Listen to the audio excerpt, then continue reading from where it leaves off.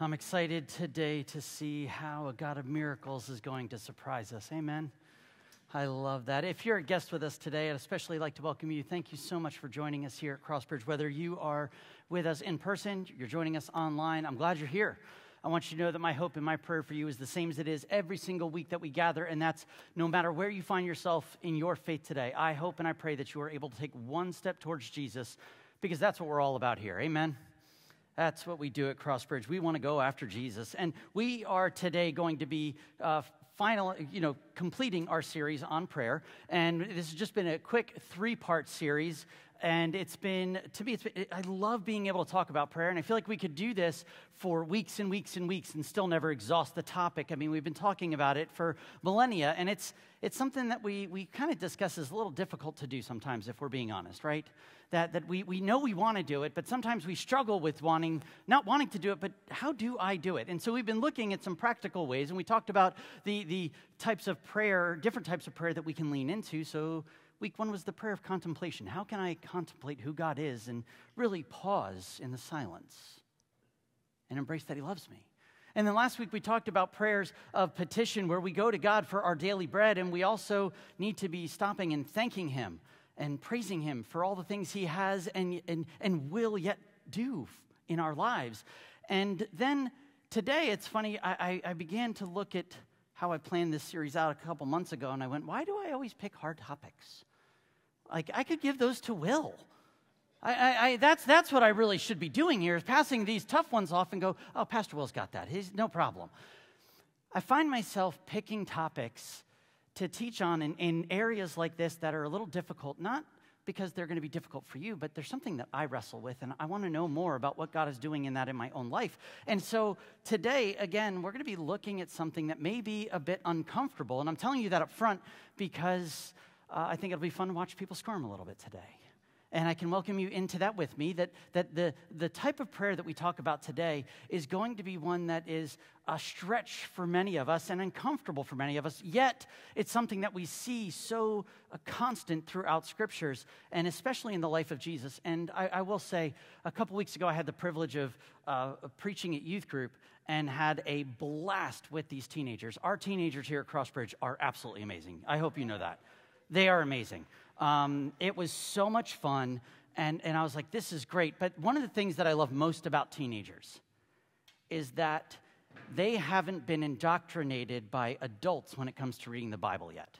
Okay, let me explain this for a second. They actually believe what Jesus says, they haven't convinced themselves out of it. They believe if Jesus says it and Jesus says to do it, they're like, so why shouldn't I do that? As adults, we're like, well, maybe, you know, it's a good idea, but I don't know if I should do it. Teenagers are ready to do it if Jesus says it. And I love it because today what we're looking at is something that Jesus says to do, and we should do it. But it's also something and a type of prayer that can be confusing. I've often heard what we're going to be looking at used to shame people, used to guilt people. I have been told because things didn't happen when we pray certain ways that my faith wasn't great enough, that there was still something wrong in my life because God chose not to move. When we talk about the type of healing and the type of confession that we need in prayer, that God, when we pray, wants to forgive our sins and wants to bring healing to our life. So often, these topics of prayer are, beat, are used to beat us, to confess sins that, like, you know, you, you need to get this all out. And, and, and if you miss anything, you're the worst. And it's like, whoa, whoa, whoa, there's a lot going on. Like, there's always new depths to sin in our life. How do we do this well? And when it comes to healing, I've heard so many times if you had more faith, it would have been done. There's something wrong with your prayers. And, and I'll be honest, it's really, really hard. But I have seen God move in these ways. And when I get to walk with people where confession is heard, forgiveness is received, so often, do you know the text that I receive later is uh, life feels so different what, what happened today that feels so different? I'm like, What do you mean? How are you feeling? And the phrase always is, I feel lighter. Is there anybody else here today that wants to feel lighter? that you feel like the weight of this uh, world that we're living in, the last couple of weeks, let alone uh, the last couple of decades for many of our life, they've been heavy. They've been hard. There's, there's things that feel broken. There's this weight that's sitting on us going, I, I would, I would long to feel lighter. This is the offering that Jesus gives to us, is to, to feel lighter by stepping into confession. Confession is not a problem, it is a gift. It's a gift. And healing is something that God promises us. And if I could already see some of you looking a little like, wait, when you say healing, what do you mean? What are you, what are you, what are you, talking about here? Well, I, I, I want to look at what it means to pray through what Jesus' half brother, James, he writes to a church, and, and this is what he says. At the end of chapter 5 of his letter to this church, starting in verse 13, James 5. Are any of you suffering hardships? You should pray. Are any of you happy? You should sing praises. Are any of you sick? You should call for the elders of the church to come and pray over you, anointing you with oil in the name of the Lord. Such a prayer offered in faith will heal the sick, and the Lord will make you well. And if you have committed any sins, you will be forgiven. Confess your sins to each other and pray for each other so that you may be healed. The earnest prayer of a righteous person has great power and produces wonderful results. Elijah was as, as human as we are, and yet when he prayed earnestly that no rain would fall, none fell for three and a half years. Maybe that's what someone prayed for us in Jersey right now, all right? Then, when he prayed again, the sky sent down rain and the earth began to yield its crops. Now, I, know in this passage there's probably a lot to, that we could go over and work through, um, but in three very quick verses, I love that James has summed up how almost most of our lives are spent. Are you suffering? Mm-hmm. Are you happy? Mm-hmm. Are you sick? Mm-hmm. Most of our life is going to be spent suffering hardships, being happy, or sick. This is what life is filled with. And it's like, all right, cool. James has a great answer. What do you do when you're in one of these situations? His answer is the same for all of them pray. Whether you're suffering hardships, happiness, or sick, the answer to all of these life situations is the same it is to pray. And I know some of you might be thinking, yeah, he says sing praises if you're happy let me tell you, when you sing praises, this is prayer. Prayer is a, an offering that we give to God. And when we are sitting together in this corporate community and we begin to worship God through song, unless, unless you're singing this song to the person next to you, which would be highly awkward, right? If you're looking at them saying, there's another in the fire standing next to me. They're like, just it's weird, isn't it? Uh, if you're singing and you're staring up at the ceiling, looking at you know gym lights, or if you're you're at home and in your living room and you're looking up at your ceiling and you're singing to your ceiling, that's not prayer. That's just singing. But when we are praising God for who He is, this is communication with God. This is time with God. This is prayer. And so, whether you've got hardships, whether you are happy, whether you are sick, the answer is the same. We are called to pray. And very few situations in the life, in our life, fall outside this summary. We're called to pray. And, and when James begins to tell this to the church, they're probably not surprised because, you know, church tradition for James, the half brother of Jesus, was that he was known as a man of prayer. Like this was one of the things that he was, was known for and celebrated for. In fact, the tradition says that he spent so much time in prayer that his knees were so hard and calloused. Like that, that's, that's who he was. I don't know if that's true or not, but I can tell you if they said this about him, whether there's callous knees or not, the man you have to know was committed to prayer enough to where they would even joke about it. This is who he was. He knew that prayer made a huge impact in his faith and what he did. And so, are you in trouble? Okay, pray. Are you happy? Songs of praise, pray. Are you sick? I love this one because he says, don't just pray by yourself. Are you sick? Call the elders of the church to go and to anoint you with oil and to pray over you.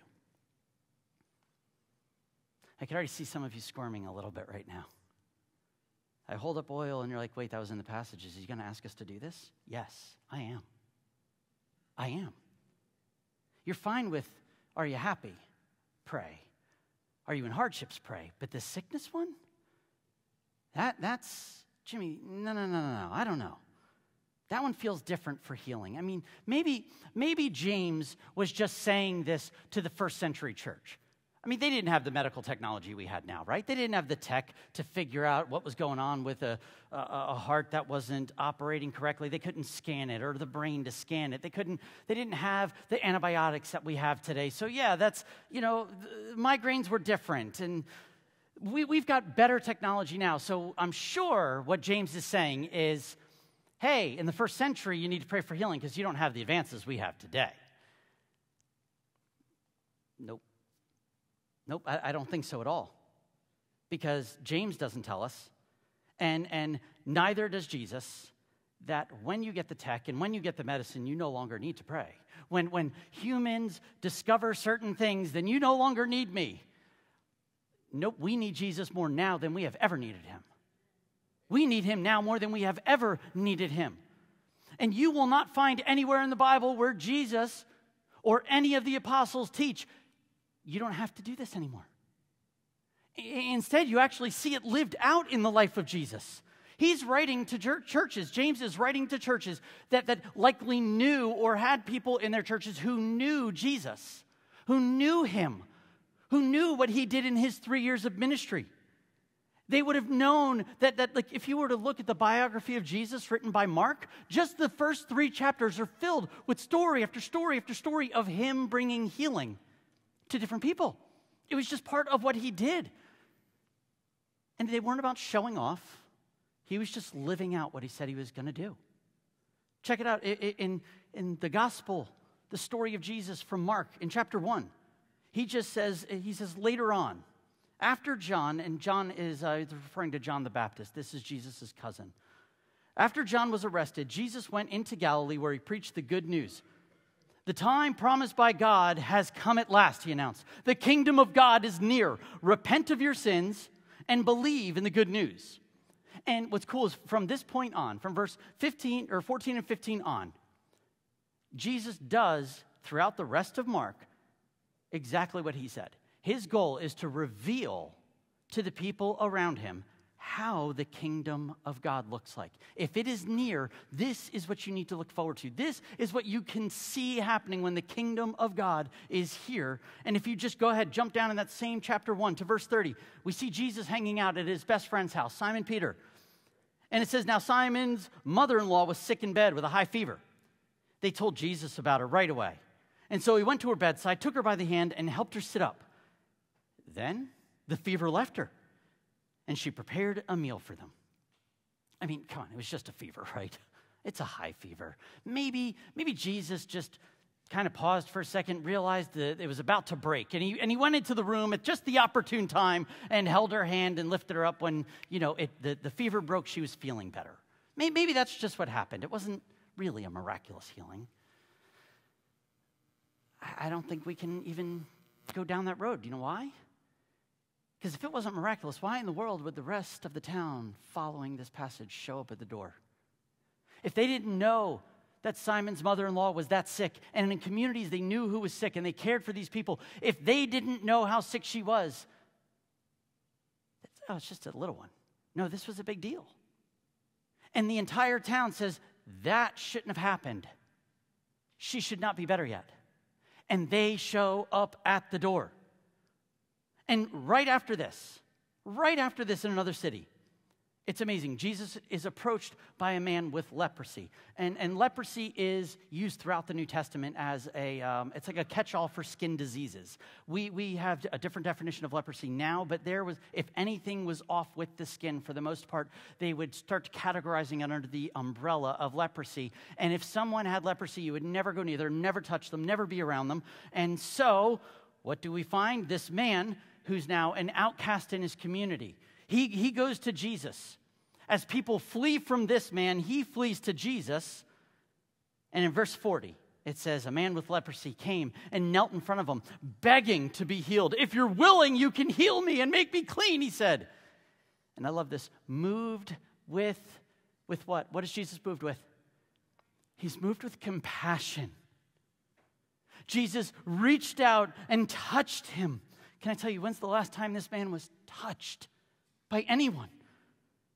And Jesus said, I am willing. He said, Be healed. And when does this happen? What happens? When? Instantly, instantly, the leprosy disappeared and the man was healed. Listen, even though this is still chapter one of Mark, chapter one, the news that Jesus can heal people, heal miraculously gets out. And all around this region, people know and they begin to flock to him, whether they're sick with fevers, they can't walk, they can't see, they can't hear, if they've got terminal illnesses, it doesn't matter. And, and they are all flocking. And then when you get to chapter two, he kind of heads to his home base that he spends time in in this place called Capernaum. And so everyone, when he's kind of heading home, is like, Jesus is coming home. And they bum rush for him. They like overwhelm him, going, There's sick people here. Can you do this? It's so full in this town that Jesus begins to teach in one of these houses, and it's packed wall to wall with people. They can't fit any more in there. And here he is, kind of sitting, and he's teaching, and people are standing. And then there's someone from the town who can't walk. And he's got four friends who are so committed to him. And these four friends put him on his mat, they lift him up, and they take him up the stairs to the place where Jesus is teaching because they can't get in. They don't know what to do. So they climb up these stairs. They wiggle their way up to the roof, which all the roofs there are flat. So it's not like they're jumping on one of our roofs that are peaked. It's a flat roof. And, and they're up there, and usually there's tiles that are up there, and they begin to pull the tiles off of the, the roof, and they're putting them in piles. And the, then it's, it's made with this dirt clay, um, a hay, and palm branches. That that's how they got it so sturdy. And these four men begin to dig through the roof. This isn't their house. This is not first century etiquette that it's okay to dig through someone else's roof. There's no explanation for this other than they believed so much that Jesus could heal their friend that they were willing to incur the cost of someone else's roof as they dig and they dig and they dig. I don't know how long it took them to get through, but I know that the people inside, there had to come a point when, you know, the dust starts falling in the room and they're like, what's going on? I, I wonder what it was like when they were sitting there and then the first hand comes through the roof. Who freaks out first? Uh, uh that'd be me. That, that would be me. I don't do scary things. A hand goes through the roof. I'm going to scream like a junior high girl, and out I run. Like, that's just going to scare me. But, but that, they do it. They, they dig through the roof. And they dig through it so much that they can create a space for their friend on a mat. And then together they work one, two, one, two, to lower him down directly in front of Jesus. Can you see this scene? How crazy is this? People are probably backing up. Like, what are you doing? You can't cut the line. Can we cut through houses now? What are, like, what are they doing? What's happening in here? And they lay him right in front of Jesus. And Jesus sees this man in the mat and then he looks up. He looks up at the friends. For your second, just close your eyes for me.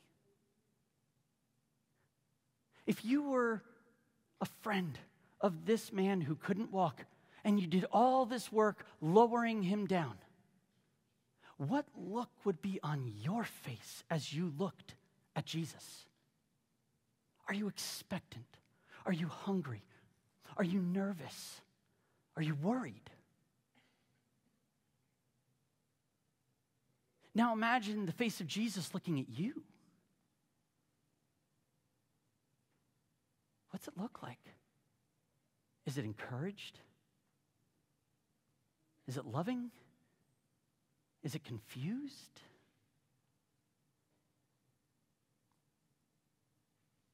Stay on that roof with your eyes closed because what Jesus sees in you as that person.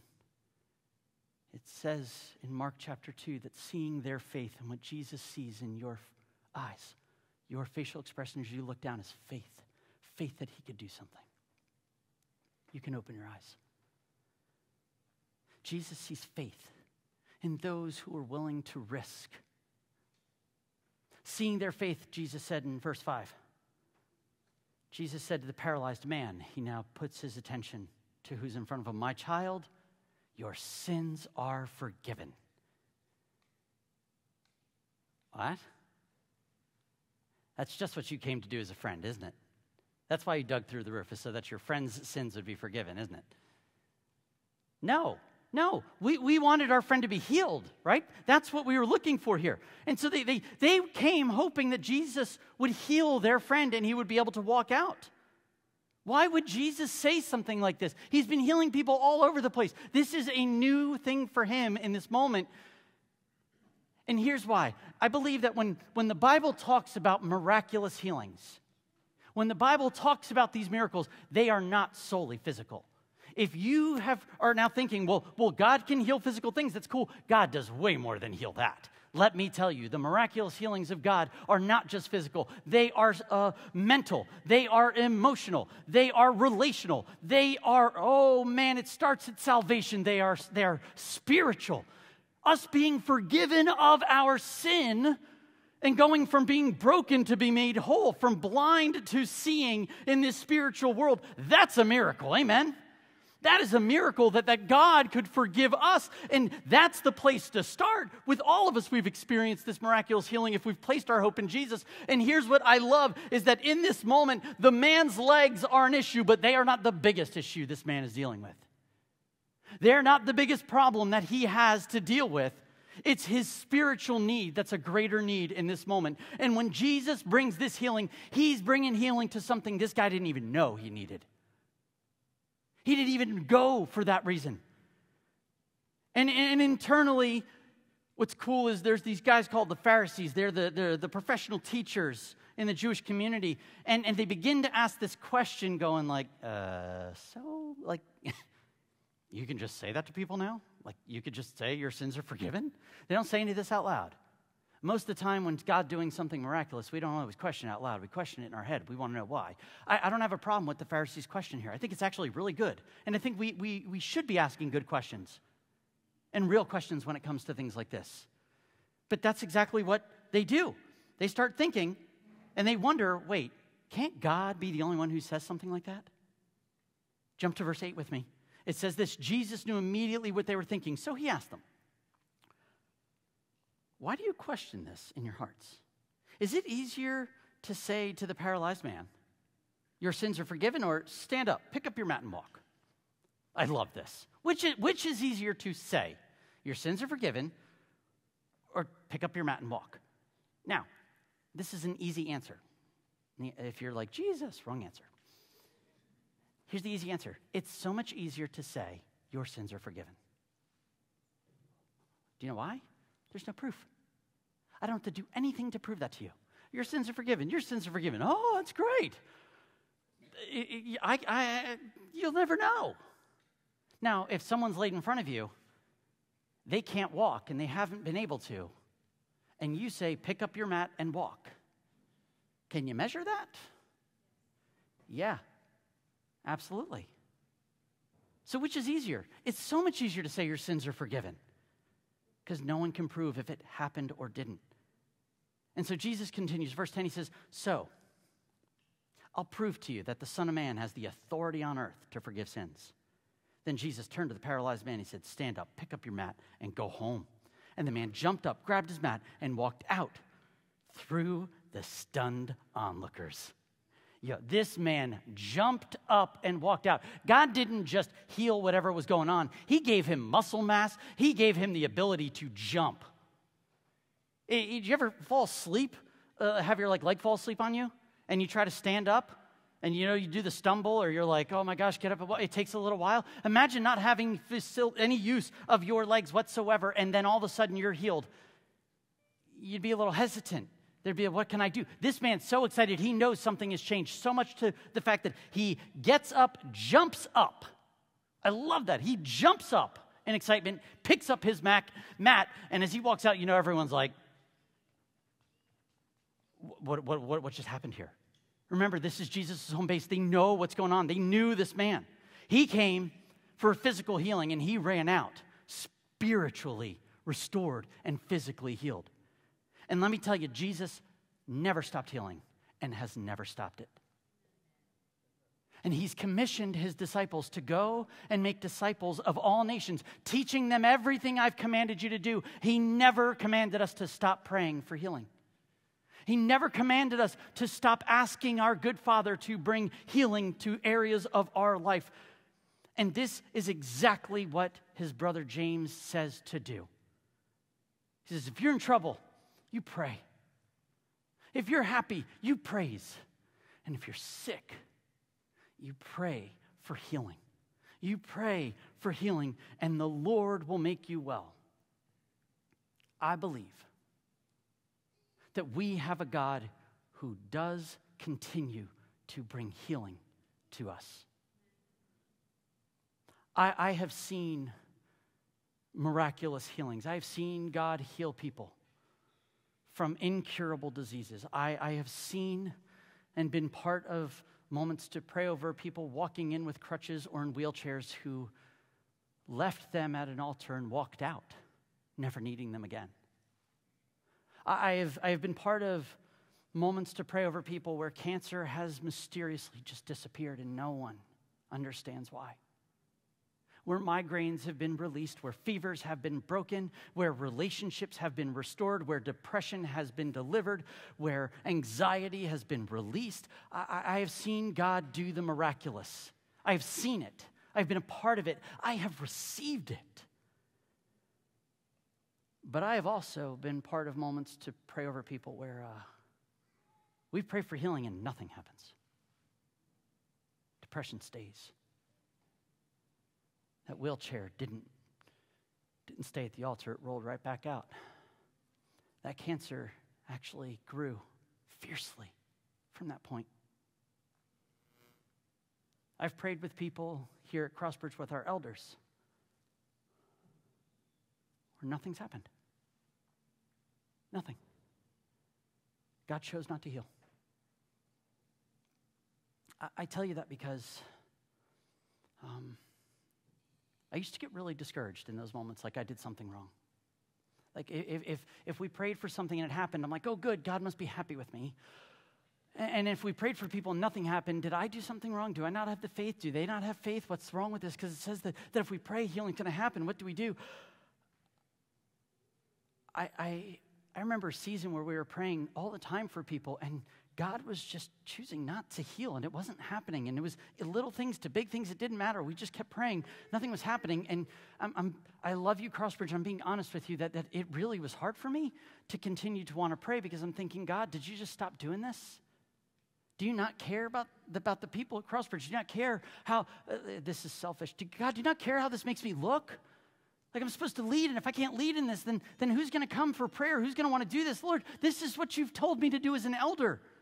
And I kept asking these very difficult questions. Yes, I would, I would pray for people when they asked, and I feel like to check the box, but I will be honest, my prayers felt weak. They felt weak. And the questions that kept coming to me is, what, God, why did you choose to heal some people, but you didn't heal them? Has anybody else ever asked that question besides me, please? Okay, thank you. I, I always wonder this. God, why would you choose then them and not them? Like, wh- wh- why? God, why did you let someone who's so godly, so wonderful, has such a ministry, why did you let them die? They were young, they had a family. You could have done something and you didn't. Why?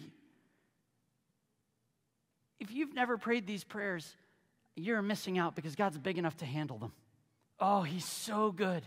He's so good and big enough to handle them. I pray these all the time. I, I, I would say, God, why, why, why would I even encourage people to come and ask us to pray? If you're going to do what you're going to do anyway, if you're sovereign and you're in control of all things and you know who you're going to heal and who you're not, and you're, you, are you are doing all this, then what's the point of even praying if you're going to do what you're going to do anyway? You're just going to do it.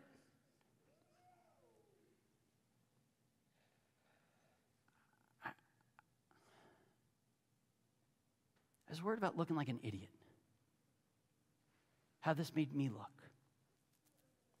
And I confess that to you because I've prayed so many times and I've seen healings and thought, oh, this is great. And when I didn't see them, there's something about the disappointment on someone's face that God chose not to move that I feel like was my responsibility to try to fix. I don't have answers to any of those questions. But here's what I've come to understand Crossbridge, God is more loving, more compassionate, more caring, and more sovereign than any of us are. He just is. He knows what we don't know. He understands what we can't understand. He is aware of what we are far unaware of. He knows what's going on in our lives better than we know what's going on in our lives. His ways are higher than our ways. And there are times we will just never understand why He chooses to or not to do something. And that's part of faith. Faith is understanding that we don't understand. Faith is knowing that we will never know sometimes. Why does God choose to heal some and, and not others? I don't know. I have no idea. But I know that He has never, ever diminished His loving, committed, compassionate, caring, sovereignty characteristics. They have never gone down, they have always stayed consistent. He will always be that way. I understand that He has not called us to heal people. We can't do that. Did you know that? You, you can't heal people. Even if God gives you the spiritual gift of healing, that's not you. That's God through you. Here's what's great He doesn't call me, and I believe He doesn't call all followers of Jesus to heal people. What He does is He calls us to pray for the sick to be healed. That's what He calls us to do. When we allow our lives, whether we are happy, whether we are in trouble, or whether we are sick, when we allow our lives to be defined by prayer, we have the ability then to pray with boldness, to pray with expectancy, and to have great understanding that God is sovereign and we are not. And the truth is, since He's sovereign over all things, He knows what's best. He's just inviting us to pray with him, to be part of these moments when God chooses to heal. Yes, we're going to celebrate. When he chooses not to heal, he's still worth celebrating. He's still good, he's still loving, and God can still redeem the pain. Do you know God works in our sickness to reveal things in us sometimes? He allows us to stay sick to show us things. How many times are we trying to pray away the things that He's asking us to power through? So, what should we pray for him? What shouldn't we? I don't know. I'm going to keep going to God with everything. And if he's going to leave it, I'll receive it. But if he's going to heal me, I'll receive that too. And if he chooses not to move, it's okay. And at the end of this little passage, James encourages us. He says, You know, yes, you need to go to the, the elders for prayer and for healing, but listen, he says, I, I want you to confess your sins to one another to receive healing. So often, especially in the evangelical tradition, we have taken confession as a very private thing. When we sin, it's just important for me to go to God and confess my sins. Yes, that is true.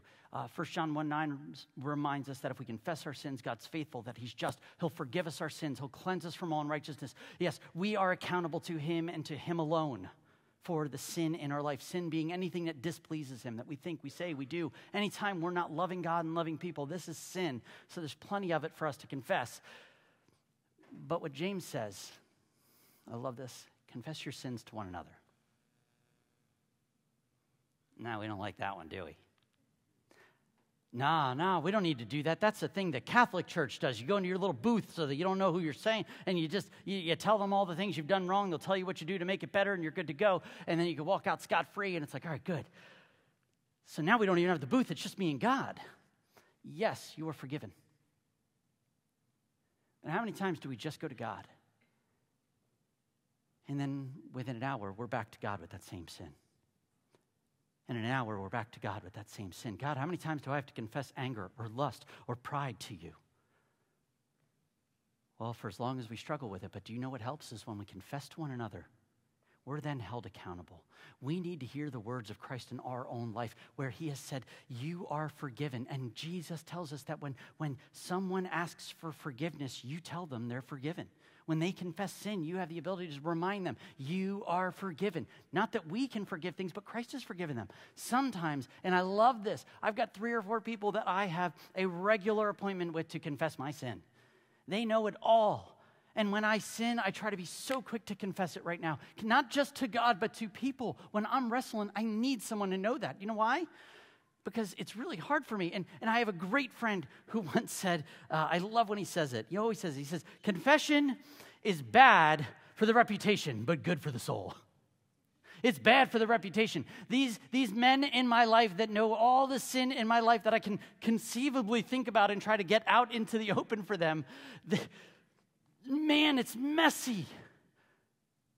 I sin less than I did before as God's continuing to, to, to sanctify my life. But man, it's still there. And I need this every day. And I'm glad for the accountability to it because then when I'm struggling with anger, the next time they see me, do you know what they ask? Hey, I've been praying for that in your life. How's your anger issue been? Oh man, I know they're going to ask me that. So you know what? It makes me think when I'm ready to lash out on something. Wait a second. They're going to ask me, and I'm always going to tell them the truth. Do I want to confess sin or do I want to pursue Jesus? And just because I know I confess to them and they're going to ask me, it helps me live a more holy life. They point me towards Jesus. Isn't that great? But so often we look at confession if they knew, if, they knew, oh, what would they think about me? I'll just give you a heads up. If you look at the person next to you, they're far more messed up than you think they are. They just are. And if you're thinking, not me, oh, you're more blind than you think. You just are. So, how do you know? How do you know then if you're blind?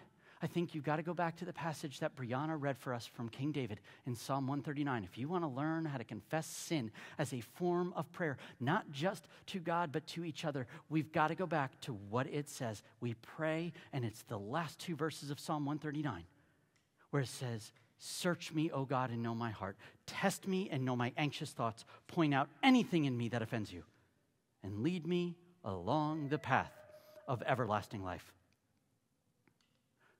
I believe we need to spend more time using that contemplative time of silence with God to, to, feel his love for us because it should lead us to a place of confession, which is a gift. It, the Lord will never lead us to confess sin and feel guilty or shameful about it. He frees us from our sin. Yes, there are consequences to this, absolutely. But he loves us. And there's nothing that any of us could ever do that will diminish his love for us. So, Crossbridge, hear me. We need to live a life of confession. If we're ch- going to choose to pray without ceasing in our life, let's just start a confession. There's always something going on, Lord. Search me and know me. See if there's something that's off. Where am I not trusting you? Where am I snapping at people? Where am I off with the loving my family, loving my kids, loving my friends? Where, where am I off? Reveal it, not, not so that I feel like garbage, but reveal it so that I can say to you, I'm sorry. And when we've sinned against each other, we can confess it to each other. One of the things I love most about the life groups here at Crossbridge is you confess sin to each other. You hold each other accountable. What a gift you give to each other. What a gift I receive as a member of a small group. The reason I tell you this is because whew, I believe that there's people here that healing is something we're scared to ask for, but you're sick. You have no problem praising and you have no problem praying when you're happy, but you're sick. There's things that are you're dealing with internally you don't know what to do with, and you're like, doctors don't have answers. I know this because I've prayed with you, and there are things I, I've, I've begged with God for you and with you together, and God still has chosen not to heal, and it's so easy to give up. I know this. I've been praying the same prayer for over a decade for healing in, in, in someone's life, and he's chosen not to. And it's so easy to say, I want to give up. But James never says, after so long, when the tech is there or God doesn't answer, go ahead and give up. Never says it. And so we continue to pray. Today, I want to give you the opportunity. It'd be horrible for us to say, hey, if you need us to pray, just go ahead and jump in the app and we'll pray for you. No, today, what we're going to do um, is instead of celebrating communion by gathering and coming back together and receiving it, is, uh, man, if you need to be prayed for, if there's something that you feel is broken that you're like, I, I would really love for God to bring healing to this area or there's a sin that is sitting on your heart so heavy that you've never had the opportunity to forgive or to, to express, that you feel like it's been weighing so hard and you just need to be reminded that you're forgiven. Our elders will be on the side, ready with oil to anoint and to pray for you. They'll be ready to hear if there's something you need to confess, or if you, you have someone in your small group or life group that, that you want to confess your sin to, go take it. Take the opportunity. You don't, it doesn't have to be an elder that you get confess your sin to. It says confess your sin to one another. Just do me a favor. If there's something heavy, don't go to someone you don't know and be like, I've got to tell you. Okay, so that's, uh, we need, we need, this is part of relationship. Okay, I don't confess all my sin to you or to, uh, you know, my small groups. I have certain things that are areas for my closest friends that they know. But today, what's sitting on you? What's weighing you down? What have you been carrying that you're saying, I need a miracle? And I'm willing to line up outside the door and do whatever it takes to get to Jesus. And when we pray together, let me just tell you how this will be. We're going we're to ask the very words of Jesus that he asks of Bartimaeus when he's sitting on the side of the road. He can't see. And Jesus says, What do you want me to do for you? It seems like a dumb question, doesn't it? He's blind. It's not a dumb question. What is it that that you want God to do for you. And then we're going to anoint you with oil and just put it right here on your head. And then we're going to pray for you. And if God does the miraculous that you've been asking for, we're going to celebrate with you. And we're going to say, This is great. Let's go tell the story of Jesus and what he's doing. And, and if he chooses not to heal you, we're going to celebrate with you because you acted in obedience. You, you did nothing but put yourself before God saying, I'm willing to try again. I'm willing to put myself here in this position because I know you love me no matter what. I can't wait to see what God does because I know He's a God who loves us and who is faithful. And whether He heals or whether He doesn't, all He asks us to do is to obey. And so, Crossbridge, let's take the faith of our teenagers who, when they read the stories of Jesus, haven't disqualified them yet, they believe it. Let's step in to saying, God, this is what I need. Would you stand with me as we prepare for communion? And what I'll encourage you to do is after I pray, um, there'll be a set of elders over here, over here, um, ready to pray. And you may go and you can, normally we gather communion, come back. You can break, you can dip, and receive it with the people around the table, just kind of we see you. This is the body of Christ that's been broken for us and, and his blood poured out for the forgiveness of our sins. If you've chosen not to follow Jesus or you haven't been in that place where you're still wrestling through that, please do not um, take communion. This is for those of us who have followed Christ. And I want to encourage you that if um, you'd like to stay and you're thinking, I don't know if I want to risk being prayed for, but I kind of want to watch what's going on, I, I just want to see, hang out. Pray for those who are being prayed for just sit and, and take this time to pray, confess, ask God for whatever it is that you want. But I would encourage you to connect with each other, use the hall, use the coffee area. Let's allow this place to be a holy place. Amen. Jesus, we offer ourselves to you.